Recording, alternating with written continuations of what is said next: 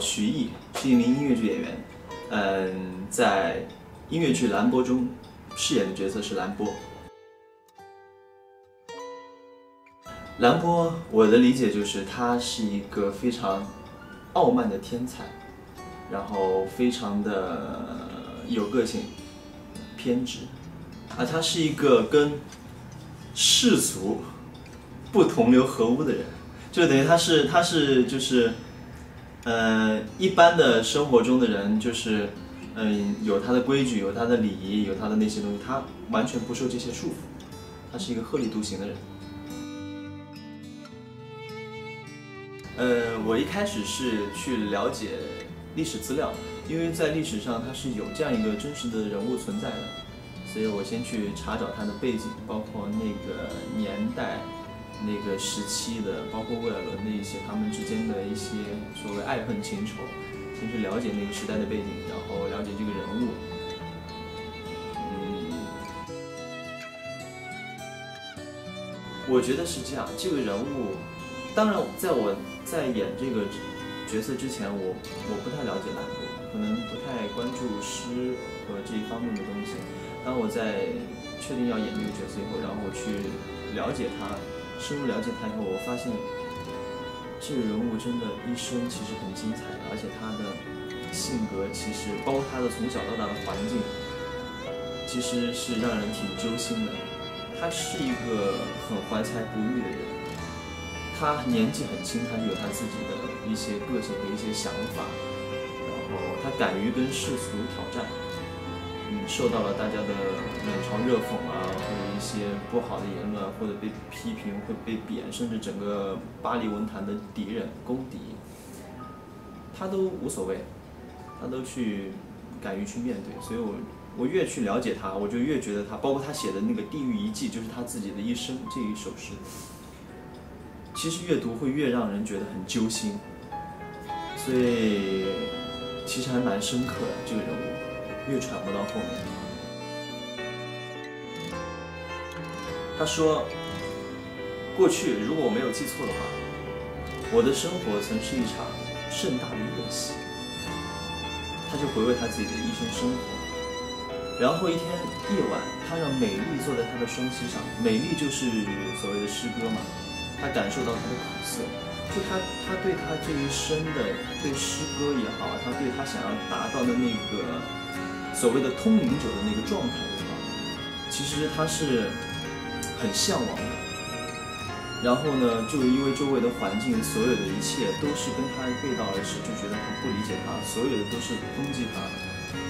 他受到心灵的那种创伤，其实还挺纠结的。越去感受他，越越觉得很真的。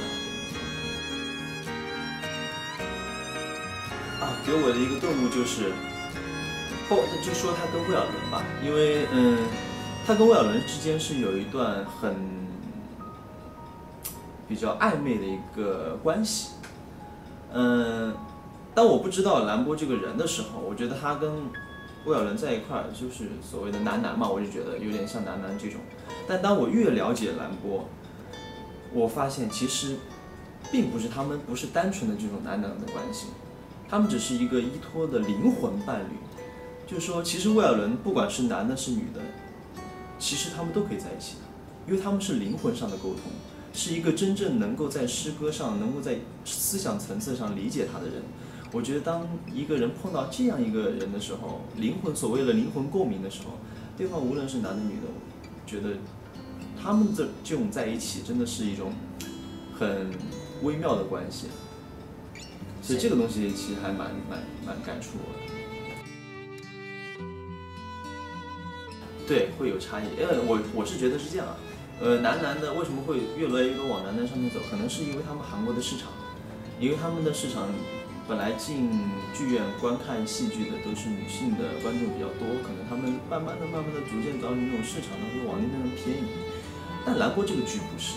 兰波这个剧刚才也说就是灵魂上的，他不管是男的，另外一个人不管是男的或者女的，都会在一起的。这是而且威尔伦他也有家室。还有他也是兰博，包兰博除了跟威尔伦之间的两这段感情以外，其他的都是跟女生的，所以他其实这个在生理上他是正常的，他只是所有这段经历特别美好的，就把它描绘出来，能放在舞台上呈现出来，就是因为他们有一段很让人让外人觉得会是一个很，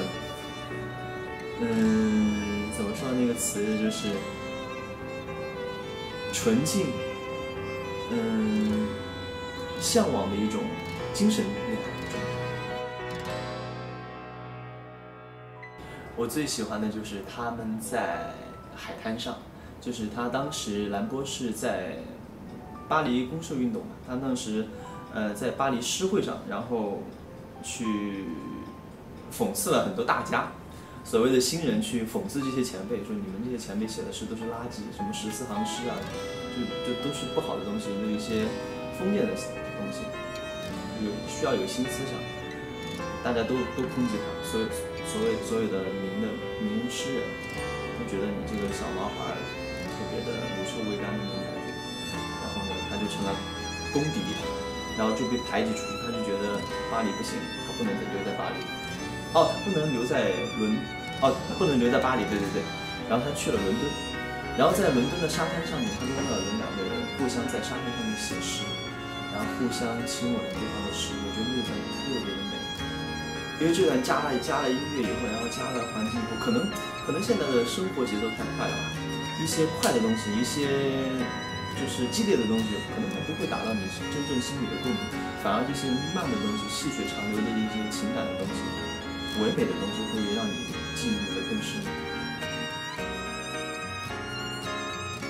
哦，我还蛮喜欢《醉舟》那首歌，我喜欢的歌倒不，这首歌倒不是说。这首歌有多么的漂亮，或者是多么的多么的难唱，或者是旋律多么的优美，都都不是。我喜欢这首歌的意境，这首歌的包括这首歌的歌词，特别的美。他在说他自己就是一个醉舟，说自己是一个小周在在海洋里面飘荡，这种感觉，我挺喜欢这首歌，就是，嗯，当我顺着。无情的河水，自由自在的流淌，失去了航向，在那狂风暴雨中不停的奔跑，我的身体被卷入碧绿的海水。我觉得这个就是韩国导演特别厉害的地方，因为他他很就是我当时提出一个疑问，就说。我在演兰波的时候，兰波是一个历史上真正存在的人物，他的性格是很复杂的，他不是像是原创出来一个人物，我只要单一表现这一块就好。他是一个很复杂的人物，可能在这一刻我是这样的想法，我随着那一刻我肯定又是另外一个想法。他人的变化是很不一样的，接受到的刺激他会有不同的反应。然后我就问，那我怎么去揣摩？我越去读兰波，越去了解兰波，我就越越不知道该怎么去怎么演。然后韩国导演给我的意见就是说。你不需要去完全表现一个多么复杂的个体，你就把你想看到的那个东西，看到的兰博，你认为的兰博去表现出来。所以韩国的兰博四个兰博，它有四四个不一样的兰博，就他们四个人对兰博的不同的理解。所以我希望就是观众能看到我表演的兰博，就是他看到一个啊，这是徐艺心目中的兰博，我就希望他是一个这么一个状态。我这样说，嗯，我我想，我想，我其实看了很多版的兰博，就是我发现他们身上都有特别好的地方。我想表现的兰博，就是我想把这些好的地方都聚集在一块儿，是一个我想呈现的一个状态。我可能我的兰博里面可能会有桀骜的一部分，也可能会有跋扈的一部分，有也有夸张一部分，也会有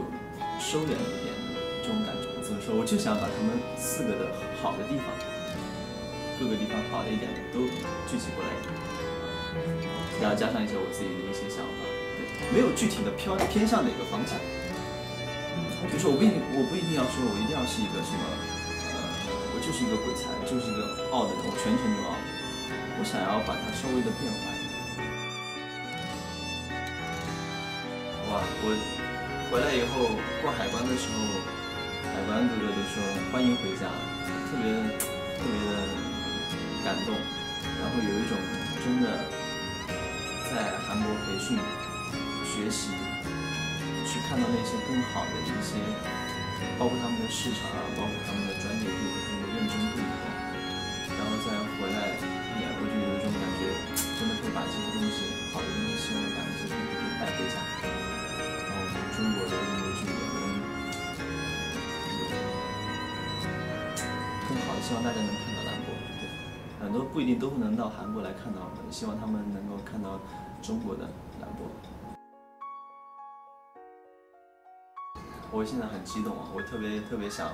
冲上舞台，现在什么时候开始？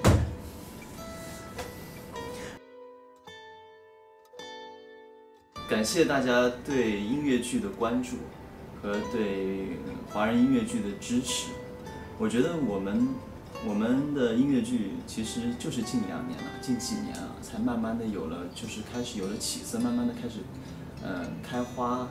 结果的感觉。所以我们要做的还有很多，就是这一次去走出国门去排练，然后去学习他们韩国就是比我们好的地方。我觉得这是一个开始，这是一个很好的开始。所以为华人音乐剧努力吧。我希望这部剧，因为这部剧的韩版已经先出来了嘛。呃，虽然它也是一个我们中韩双方一起在原创过程中都是有互相、互相的创作的共同创作的这么一点，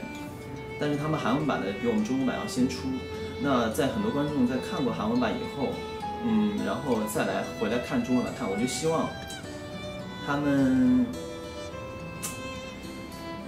不会觉得失望吧，因为因为很多，这实话实说，很多，因为我自己本身也做过很多，就是。中文版的翻过来的，嗯，其实会打一些折扣，呃，因为毕竟是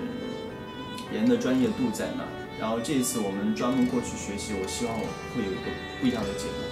我希望我们这一次能够让观众至少不失望。我们在不失望的前提下，我们要做到更好，一步一步来。我们这个剧很特别，三男主。不一样的音乐剧，希望大家多多支持，来剧场看我们。